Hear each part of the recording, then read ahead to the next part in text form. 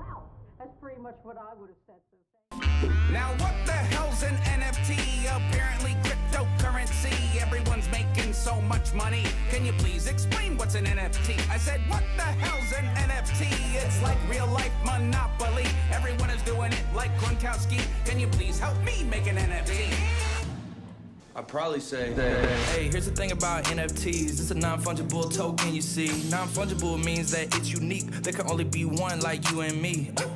NFTs are insane. insane. Built on a blockchain, right. a digital ledger of transactions. It records information on what's happening. When it's minted, you can sell it as art. And this concludes my rapping part.